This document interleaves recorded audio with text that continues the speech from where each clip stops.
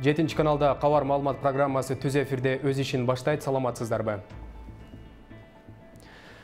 коронавирус менен ооруп жаткан келин өз өмүрүнө кол салды. Дарылардын баасын көтөргөн дарыканалардын кожоюндары жазага тартылат коңшу казакстан 5 июлдан катаал карантиндик чараларды киргизет ушул жана башка маалыматтардан кыскача түрмөк.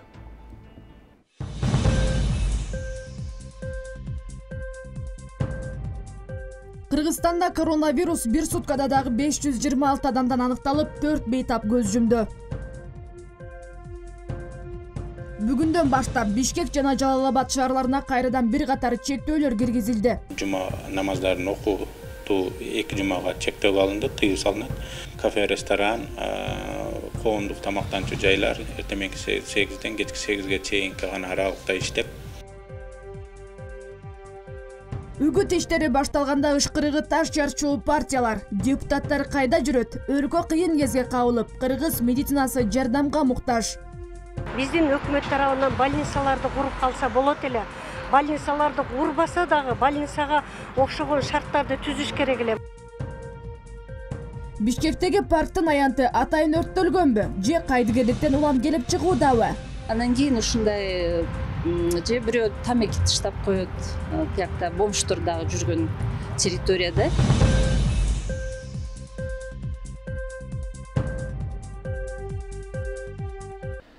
Дүйнөлүк саламаттык сактоо уюмунун башкы директору тедрос адханым гебреесус учурда дүйнөдө коронавируска каршы жүз кырк бир вакцина иштелип чыгып жаткандыгын билдирди.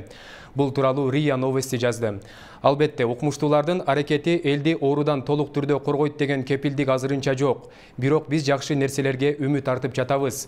Коронавирус жайылып баштагандан тарта адистер анын вакцинасын табууга далалат кылып эмгектенип жатышат. Айрымдарыныкы сыноодон өтүп бүтөйүн деп калды учурда жүз кырк бир вакцина иштелип чыгууда деген гебреесус дүйнөлүк саламаттык сактоо уюму он биринчи мартта коронавирус инфекциясын пандемия деп жарыялаган. Джон хопкинс университетинин соңку маалыматы боюнча жер жүзүндө он миллион алты жүз алтымыш жети миң эки жүз он жети адам коронавируска чалдыгып анын дээрлик жарымы айыкты ал эми оорудан беш жүз он беш миң алты жүз кырк алты бейтап көз жумган Қазақстанда коронавируска каршы күрөш боюнча өкмөттүк комиссия эпидемиологиялык жагдайды жөнгө салыш үчүн 5 июлдан тартып кеминде 2 жумалык катаал карантин киргизүү тууралуу чечим кабыл алды. Ага ылайык эл көп катышуучу иш чараларды өткөрүүгө, жоон топ болуп жүрүүгө, көчөлөрдөгү кыймылга чектөө киргизилет. Парктарда үч адамдан көп чогулууга болбойт. Медициналык жайлар алдын алы жазуу тартиби менен гана кабыл алат. Сулуулук салондорунун спорт мекемелеринин жабык базарлардын ишине да убактылуу тыюу салынышы экенин кабарлады. Казак премьер министри аскар мамин мындай карантиндик чаралар жагдайга жараша дагы узартылышы же дагы мүмкүн экенин эскертти. Қазақстанда соңку бир күндүн ичинде коронавирус бир жарым миңдей адамдан табылды. Бул илдетти 42 500 киши жугузуп алып, 188 бейтап көз жумду. Кыргызстанда коронавирус бир суткада дагы 526 адамдан аныкталып, 4 бейтап көз жумду. Ооруну жугузуп алгандар боюнча антирекорд күн сайын жаңыланууда. Ал арада дарыланып жаткан бейтаптардын арасында өз өмүрүнө кол салгандар да катталууда. Жугуштуу илдеттин жайылышы менен бирге өпкөсү кагынып ооругандар да көбөйүүдө. Бүгүн бул илдеттен 17 адам каза болду. Өлкөдөгү эпидемиологиялык абал тууралуу кененирээк кийинки сюжетте. Өткөн суткада илдеттен дагы 4 адам каза болду. Алар Бишкек шаары жана Кочкор, Ноокат райондорунда катталды. Ушуну менен COVID-19дан каза болгондордун жалпы саны 66 кишини түздү бул кыргыз түрк ооруканасына бир бейтап эркек киши жетимиш бир жашта. Ноокат территориалдык бир бейтап эркек киши жетимиш жашта. Кочкор ооруканасы территориалдык ооруканасынан эки бейтап эркек адам элүү алты жашта аял адам алтымыш тогуз жашта. Бүгүн дагы беш жүз жыйырма алты адамдын коронавирус жуктуруп алганы белгилүү болду. Басымдуу бөлүгү бишкек менен чүйдө. Бишкек он бир ош шаарында он тогуз чүй отуз бир ысык көл областында он ош областында алты нарын областында үч жалал абад областында жыйырма жети баткен областында он сегиз талас областында бир учур. Кыргызстанда covid он тогуз вирусун жуктургандардын саны алты миң эки жүз алтымыш бирге жетти ал эми жалпы эки миң беш жүз отуз бейтап айыгып ооруканадан чыгарылды. Бүгүнкү күндө ооруканада жети жүз отуз беш бейтап дарыланууда жүз он адамдын абалы оор жыйырма төртү реанимацияда жатат. Оорунун жеңил түрү менен жабыркаган эки миң тогуз жүз отуз киши үйүндө дарыланууда. Кооптуу илдет күч алып учурда бейтаптар арасында өз өмүрүнө кол салгандар каттала баштады. Ошто коронавирус илдети жугуп ош шаардык ооруканасына дарыланып жаткан отуз төрт жаштагы аял үчүнчү кабаттан боюн таштап көз жумган.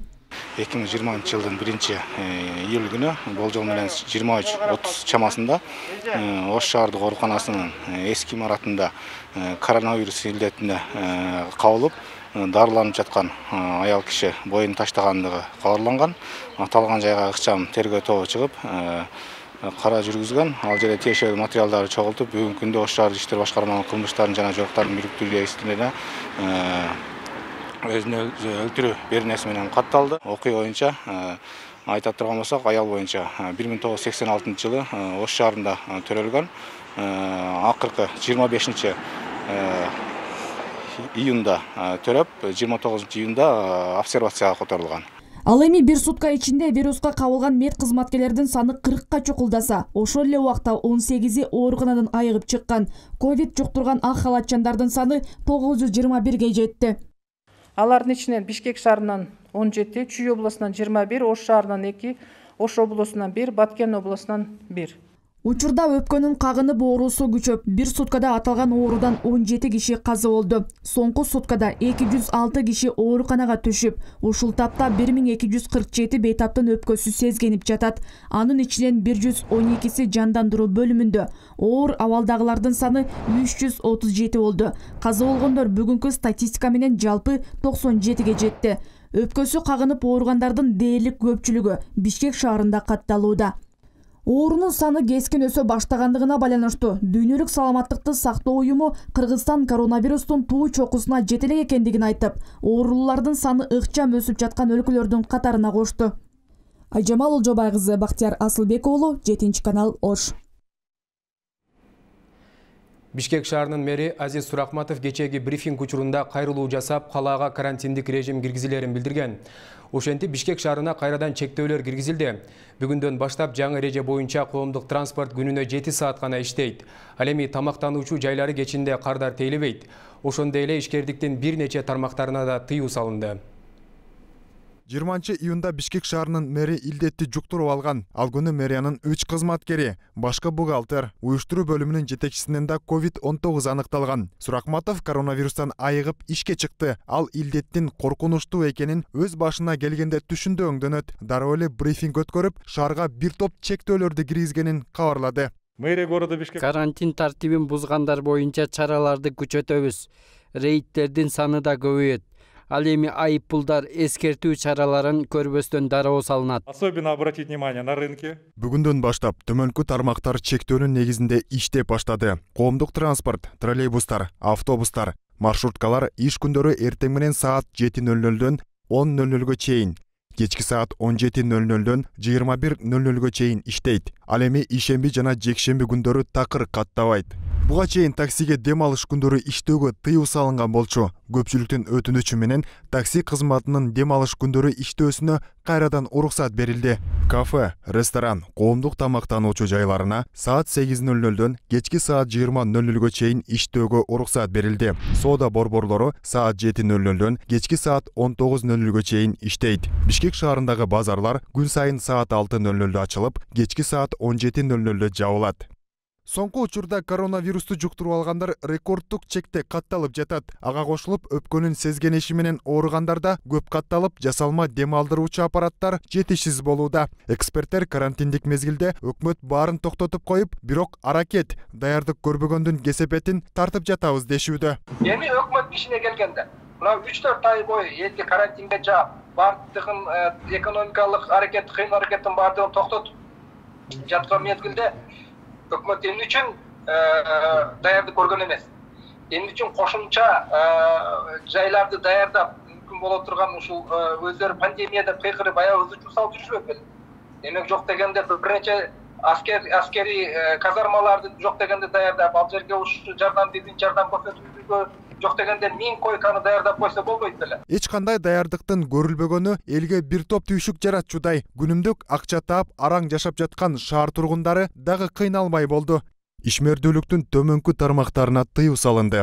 Велосипед ижарага берүү пункттары.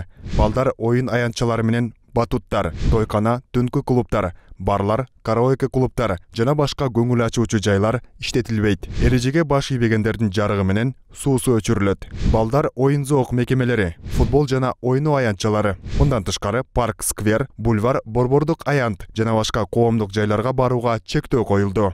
Ишмердүүлүгүнө уруксаат берилген жайларга күн сайын рейд жүргүзүлүп турат. Санитардык нормаларды аткарбагандарга эскертүүсүз айып салынары айтылды. Эксперттердин айтымында азыр коронавирустун жайылышы өпкөнүн сезген иши региондорго жайылып кетүү коркунучу жогору ансыз да дарыканаларда дарынын жетишсиздиги күч ал эми ооруканаларда дарылар түгөндө социалдык тармактарда элдер жасалма дем алдыруучу аппаратка акча чогултуп убара ушундай кырдаалда өкмөт башчынын жакшы сүйлөгүлө деп отурганы такыр туура эмес дейт айбар султангазиев премьер айтып атат жакшы нерсени айткыла деп бүгүн мына жана бир саат болду кантип айтасың эмне жөнүндө айтасың азыр азыр уяласың бирдемке жакшы жөнүндө айтканы жакындарың тааныштарың баары ооруп атса кыйналып атса мен деле отурам үйдө ооруп бирок азыр эл өлүп атат эл өлө турган жатат а силер парк куруп атасыңар биз мына биздин балабыз ооруп атса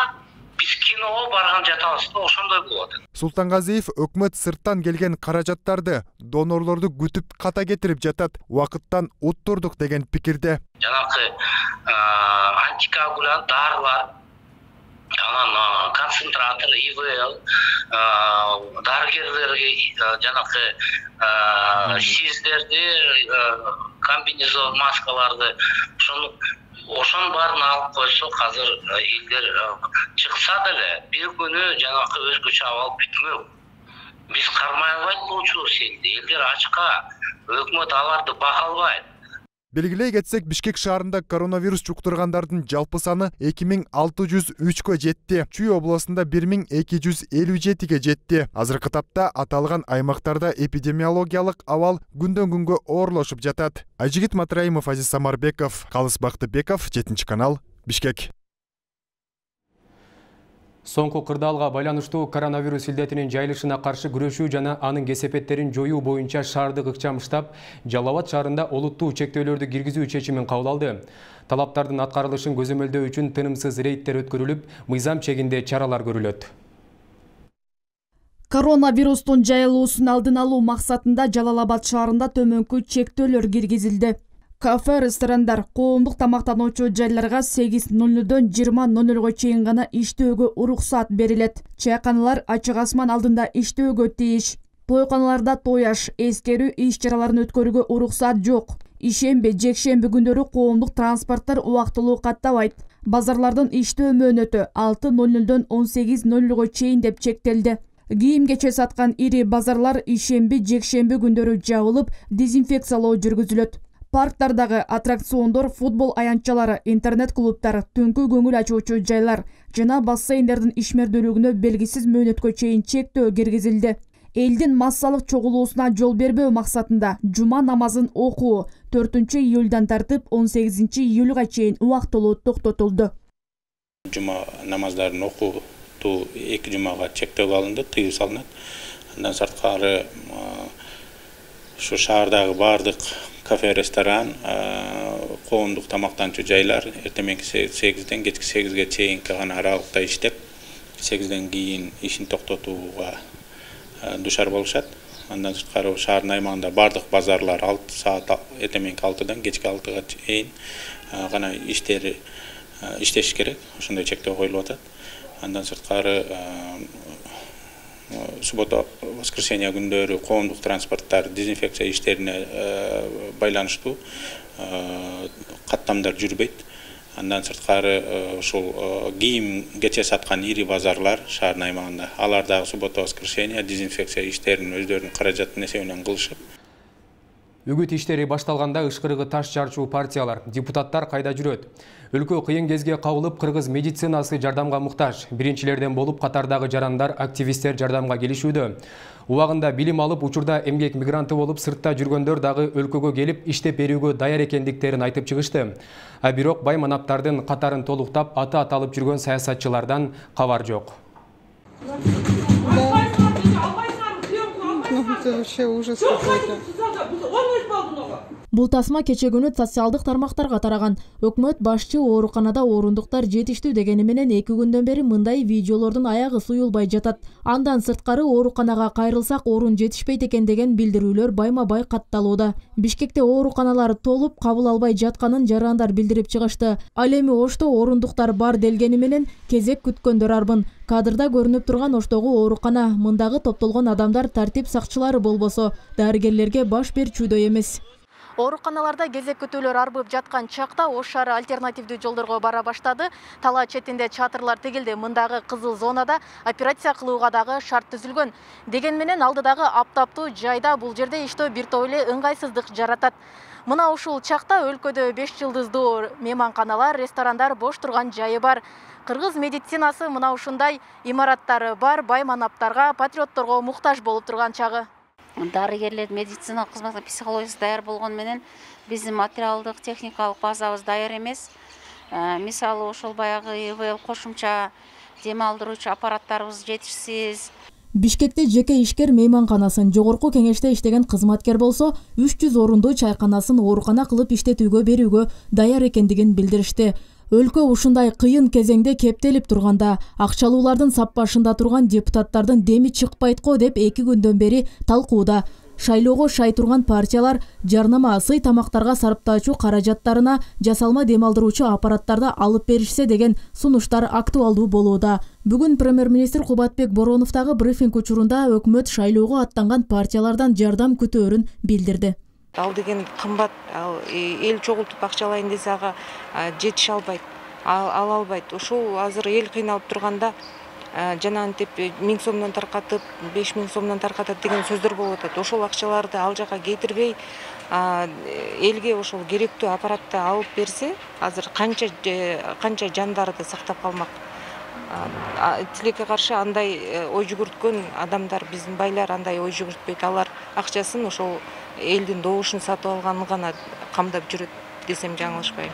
Кечээ ошто пцр тесттер үчүн реактивдер түгөнүп анализдер үч күндөн бери тоңдурулуп турганы маалым болгон. Маселе бүгүн жоюлганы менен өкмөт башчы кубатбек боронов ачык билдирүү жасап башында уруксаат берилбей жаткан жеке менчик лабораторияларды жардамга чакырды.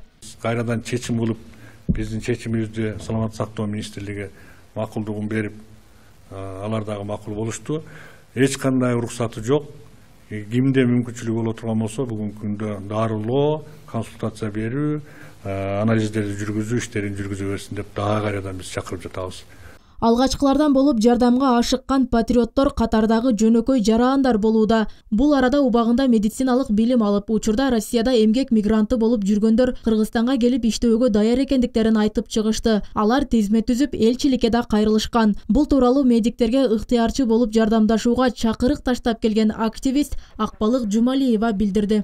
Ыктыярчылар чыгып атат алар даяр медиктер медсестралар врачтар бизге чартерный рейс э, берсе өкмөттөн барып э, бекер иштеп берет деген э, чыгып атат да. Абал курчуп төрөт үчүн ооруканага келген энелерден дагы коронавирус аныкталып жатат. Мындай шартта бейтаптарды башкалардан обочолонгон бөлмөгө алыш керек. Төрөт үйлөрүндө мындай шарттар жок. Ага ылайык ош шаардык төрөтканасындагы дарыгерлер айлык маяналарынан беш миң сомдон чогултуп био ажатканаларды алышкан. Антпесе тендерди жана министрликтен каражатын күтүүгө убакыт жок болгон.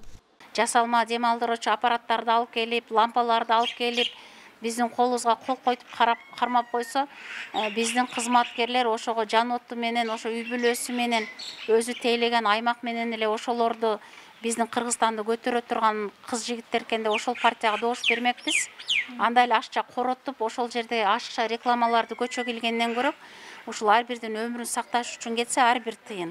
Башка чет мамлекеттен келген жардамдарга биздин өкмөт тарабынан больницаларды куруп калса болот эле больницаларды курбаса дагы больницага окшогон шарттарды түзүш керек эле. Эске сала кетсек эстрада ырчыларынын арасында жана соодагер айымдар чогулуп жасалма дем алдыруучу аппарат алып берүү үчүн каражат топтой баштады. Ошондой эле кыргызстан медайымдар биримдигин түзүшүп дарыгерлерге жардамга келишүүдө. Алар он төрт күн иштеп он төрт күн обочолонуу режиминде болушат. Ал эми расмий иштеп жаткандардан ар кайсы облустардан жүз дарыгер абал курчуган бишкек шаарына кошумча күч катары жөнөтүлдү эртеңден тарта чет өлкөлөрдөн дагы дарыгерлер келери күтүлүүдө роза акматжан кызы бактияр асылбек уулу жетинчи канал ош. Экономикалык кылмыштарга каршы күрөш боюнча мамлекеттик кызмат дары дармектердин медициналык каражаттар менен беткап антисептиктердин баасын жогорулашына жол бербөө боюнча дарыларга рейд өткөрүп жатат. Мекеме кабарлагандай жогорудагы товарларга бааны негизсиз көтөргөндөр аныкталган жана катуу чара көрүлөт. Финансы полициясы ишкерлерге дарыкана ээлерине абалдан пайдаланып медициналык каражаттардын баасын көтөрүүгө болбой турганын эскертти ошондой эле мекеме элге кайрылып дары дармек негизсиз кымбат сатылып жаткан окуялар боюнча финансы полициясына он тогуз элүү беш номуру аркылуу чалып билдирип коюуну өтүндү. Соңку күндөрү кыргызстанда дарыканага кезек күткөндөр көбөйүп негизинен вируска каршы дарылар жок болуп жатканын жана дарылар кымбаттап кеткенин социалдык түйүндүн колдонуучулары жазып жатышат кырдаалга байланыштуу бет каптар менен өздүк коргонуучу каражаттардын саны көбөйүп сапатына көңүл бурулбай калды. Аны менен катар баасы да асманга көтөрүлүп кетти. Буга чейин саламаттык сактоо министрлиги баанын жогорулашы негизсиз экенин айткан. Учурда коомчулук кандай коргонуу каражаттарын пайдаланууда алдыдагы сюжетте.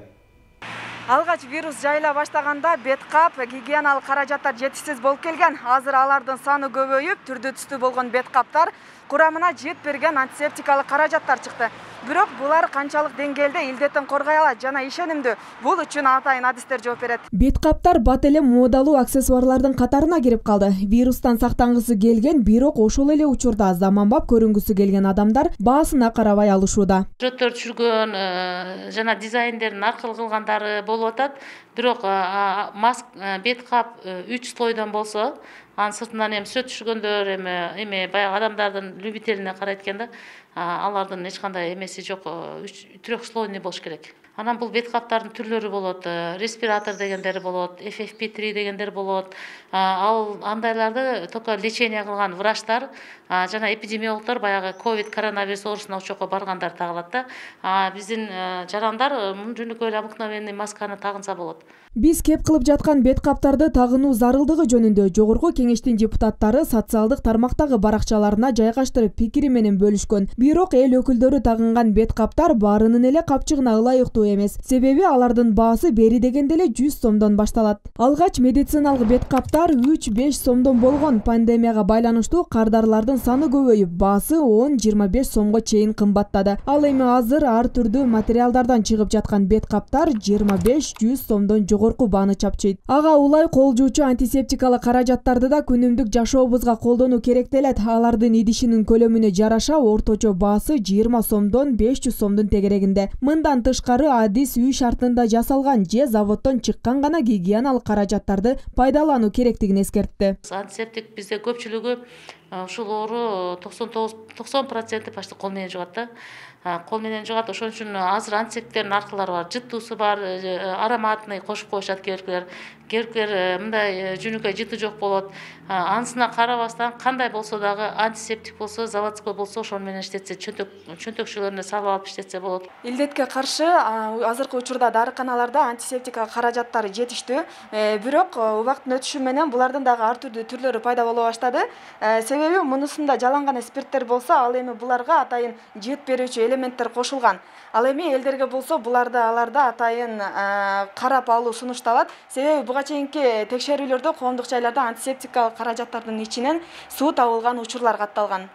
Бул антисептик эмес ичи суу экен. Суу эле обычный эле суу. Антисептик эмес. Ким үйрөттү мына суу куюп антисептик уят эмеспи э балдар эй бет бетиңер ар бир коомдук жайларда жана коомдук транспорттордо жеке коргонуу каражаттарынын сөзсүз болуусу милдеттендирилген. Бирок коюлган талап аткарылбай элдин саламаттыгына кайдыгер карап антисептиктердин ордун суу менен алмаштырып коюшкан учурлар абдан көп кездешет. Мээрим алмазбек кызы мирзат нууманов жетинчи канал ош.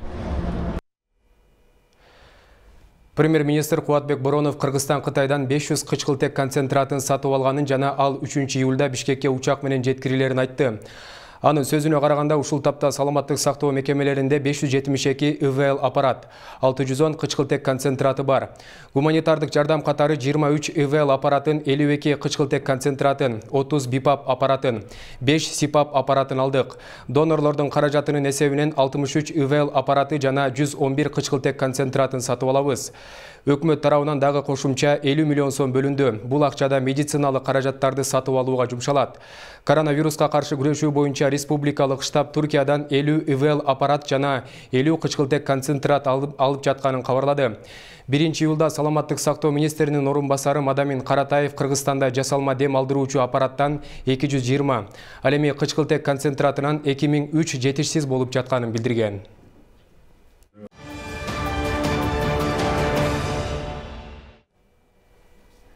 Жалал Абад облусунун Сузак районунда аялынын мойнуна дөңгөлөк асып алып сабаган киши күнөөлүү деп табылды. Сот аны 2 жылга шарттуу түрдө кесип, сот залынан бошотту.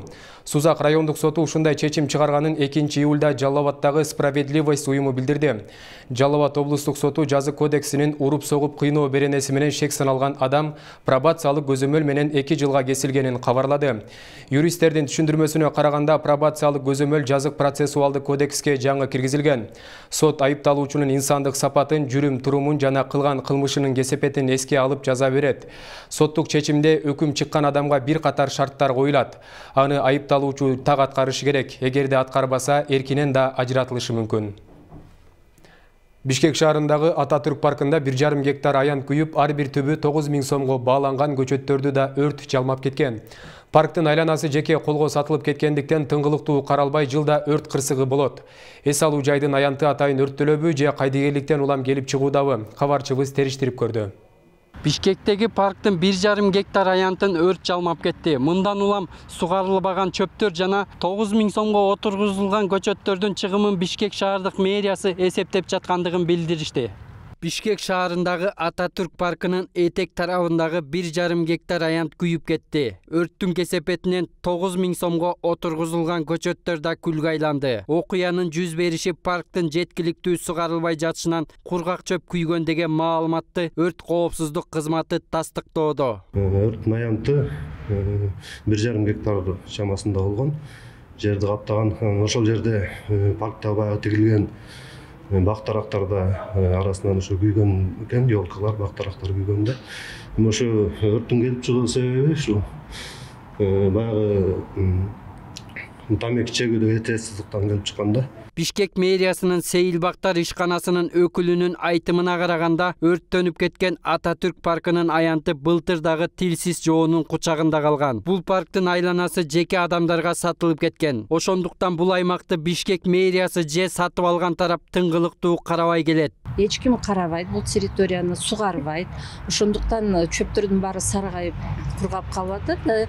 Анан кийин ушундай же бирөө тамеки тыштап коет тиякта бомждор дагы жүргөн территорияда. Ошондуктан биз былтыр бул территорияны сугаралык десек бизге караштуу эмес экен бул парк былтыр дагы өрттөнүп күнөөлүүлөр табылган эмес бишкек шаардык ички иштер башкармалыгы тарабынан кылмыш иши козголуп азыркы тапта эс алуу жайынын өрттөнгөнүнө тиешеси бар адамдарга карата тергөө амалдары жүрүп жатыптыр. Аталган факт кылмыштардын жана жоолуктардын октябрь райондук ички иштер башкармалыгынын кылмыштардын жана жоолуктардын кезиктүү рейстерине катталып кыргыз республикасынын жоолуктар жөнүндө кодексинин жүз он сегизинчи беренеси өрт коопсуздугунун эрежелерин бузуу беренесинин негизинде сотко чейинки өндүрүшкө алынды.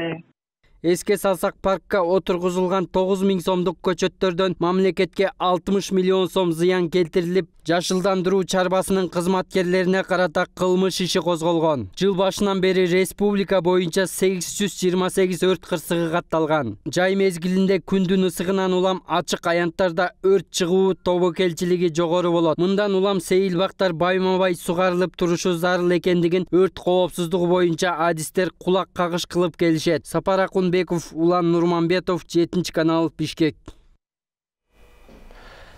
Жалал Абад облусунда 1981 жылдан бери пайдалуу курт кумурскалар өндүрүлүп келет. Учурда айыл чарба өсүмдүктөрүн зыянкечтерден, илдеттерден коргоодо өз натыйжасын берип сыналган. Анын жардамы менен дыйкандар таза айыл чарба продукциясын ала алышат. Ошол эле учурда химиялык дары дармектерге караганда 4-5 эсе арзан келет. Био лабораторияда өндүрүлүп келинген пайдалуу көпөлөктөр тууралуу кабарчыбыздын кийинки материалында. Айыл чарба өсүмдүктөрүн ар кандай зыянкечтерден илдеттерден коргоодо биологиялык каражаттарды колдонуу кеңири кулат жая баштады дыйкандар пайдалуу курт кумурскалардын жардамы менен зыянсыз айыл чарба өсүмдүгүн өстүрүүгө болот ошол эле учурда көпөлөктөр химиялык дарыларга караганда да төрт беш эсе арзан келет зыянкечтерди жей турган пайдалуу көпөлөктөрдү атайын биолабораторияда өстүрүшөт бирте бир банкада он эки он үч граммдан трихиграмма чыгады ошо он эки он үч грамм кейін манағы біз кішкене пакетлерге бір граммдан үш граммдан қылып тұрып манағы пакетлерге распасовка ана инекин біз холодильникке плюс бір минус плюс bo'lgan temperaturada qo'yib bularni qishында диапазонда алты айга уктатабыз пайдалуу курт кумурскалардын алты түрү бар. Ар биринин кызматы ар башка. Алсак өтө майда бир миллиметрден да кичине өлчөмдөгү трихограмма көпөлөгүн арпанын жардамында бир ай ичинде өндүрүүгө болот. Ал өзүнүн жумурткасын зыянкечтердин жумурткасына таштап аларды зыянга учуратат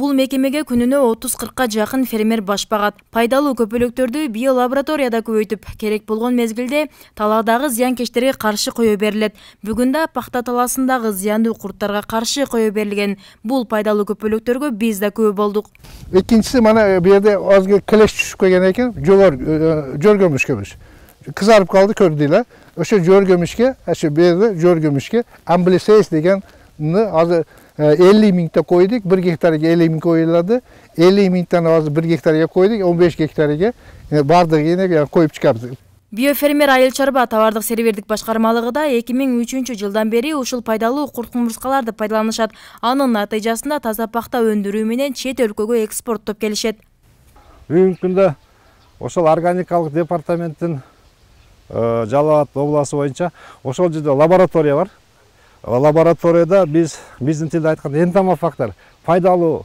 курткумуш немелерди өндүрүшөт бул органикалык фермерге бир эң чоң жардамчы катары эсептелет себеби химикаттарды биз колдонууга уруксатыбыз жок ошон үчүн баягы косек курт түшкөндө желе кенеси түшкөндө ошол ушул кишиден мына ахмедов кахар экеден контракт түзүп койгонбуз фермерлер келип өздөрү алышып ушул талааларына колдонуп атышат.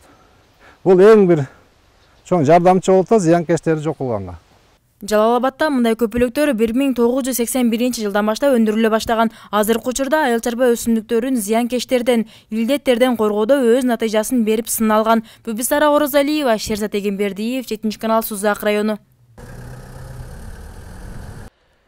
Жетинчи каналдын кызматкерлери даярдаган маалыматтар топтому мына ушулар болду сиздер кандайдыр бир окуялар кызыктуу фактыларга мыйзам бузууларга күбө болсоңуз биз менен бөлүшүңүз элдик репортер берүүсү сиздердин кызматыңыздарда түз эфирде мен нурдөлөт таштанбек болдум кечиңиздер көңүлдүү улансын саламатта калыңыздар